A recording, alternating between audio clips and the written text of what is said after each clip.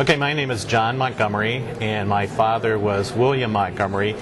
He was in the U.S. Army from April of 1943 to October of 45. Um, he originally started out in the combat engineers, and their troop was being trained for the invasion at D-Day.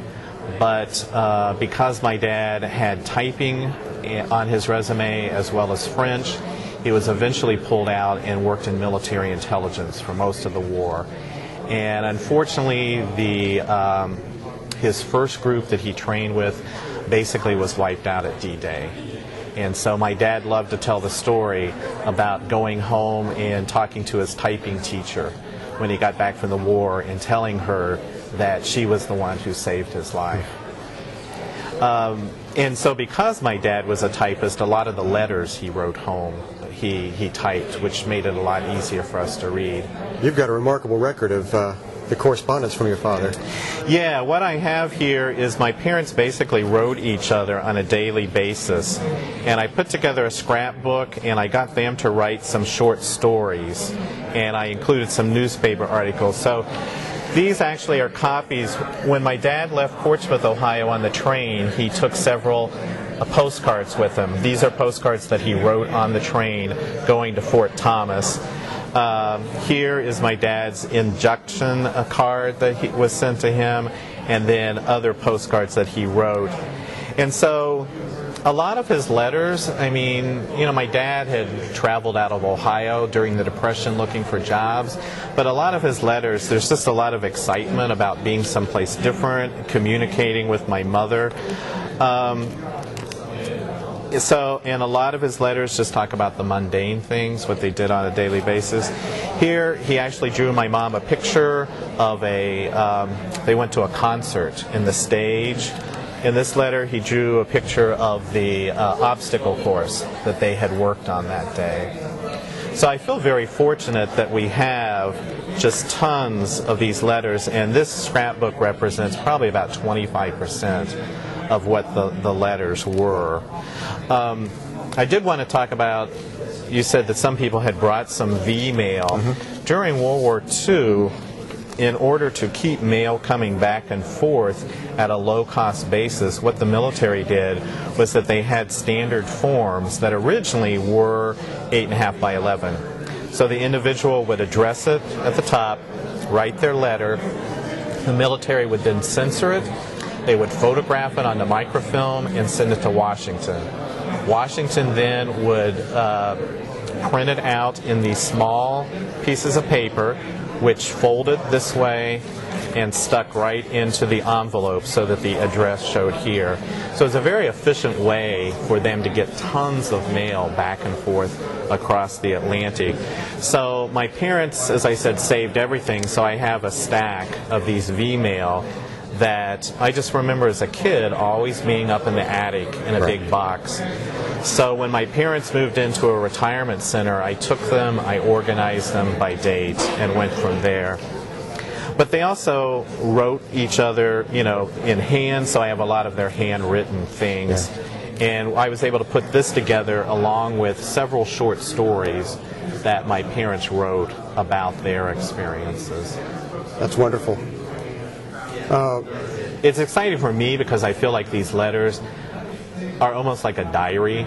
You know, my dad talked about what he had for breakfast. You know, he talked about the baseball games they played in Hyde Park. And I think he said a lot of things that you can only say in letters, that if my mom had been sitting next to him, he probably wouldn't have said them.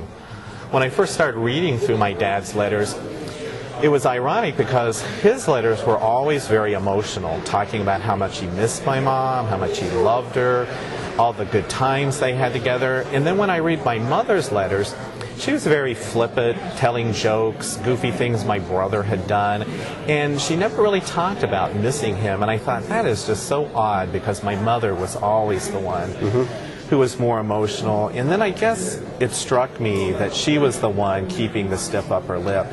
There's a letter in here from my aunt to my dad telling my dad how my mom had, uh, excuse me, had been losing weight. She hadn't been sleeping. and so I got a deeper insight, I think, into them as well. So I, I'm, I'm very thankful that I have these letters. That's a wonderful record. Yeah. You've done a great job putting it together. It's really Thank wonderful. you. It's uh, it's been a nice project. This was a Christmas present for my brother and sister and all their kids. I made eight copies of this uh, to put together. That's wonderful. So the other thing I brought is this is a map that they were given to uh, bombardiers, to fighter pilots. They're also they were called escape maps. It's made out of silk, so that it would be very lightweight. It wouldn't, you know, weigh down the pilot or the bombardier, or whatever. Very lightweight, made out of silk, so that if it got wet, uh, the writing would not smear, and that it would be readable. So, I believe on this side is Holland, Belgium, France, and Germany, and then on the other side is another uh, close up of uh, here's Aachen in Germany and different sections as well. Yeah, those are great. Well, thank you for bringing this in. This is really wonderful. Really terrific. Yeah, and if you want, I, I did mark some places in letters that I thought were memorable. If you would want me to read anything, You might mark, or- uh, read one for us. Okay. There's one that I, I think is very touching. Because again, you know, my father wasn't necessarily the emotional one in the family, but he talks about some, I think, poignant things. This is from July of 45. You know, the war in Europe had ended. My dad is still in France. He says, Hun, every now and then we're reminded that there has been a war here and lots of people have suffered. It's hell to sit in a nice mess hall eating liver and onions with mashed potatoes and seeing these French children standing outside with their mouths watering just for a crumb. I just came out of the mess hall and a little kid ran up and reached into my mess kit and grabbed a small piece of liver that I wouldn't even eat. He gulped it down, and I felt so bad that I hadn't saved him a larger piece. After all, I have a kid too, and I'm sure hate to see him go hungry. In Germany, it's even worse. They eat right out of the garbage can. So let's remember that we're not as bad off after all, after we are so far apart because we have each other. So I just thought that was That's pretty great. poignant. That's wonderful. Thanks again for bringing it in. Sure.